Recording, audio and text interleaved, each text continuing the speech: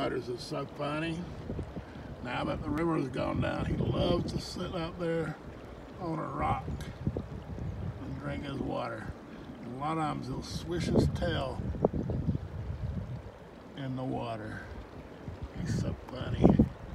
He's so funny about drinking from the Colorado River. He loves it. You know why I have this picture? I've tried to make this video a couple times. And each time, see, there he goes. Here he comes. About it, buddy? Here we are on this uh, warm June afternoon, a little breezy in Colorado, partial Colorado, on the Colorado River with Butters, Koch, Allen, the human cat. Right, buddy? What you gotta say? Butters. Yeah. He's a good boy. Peace out.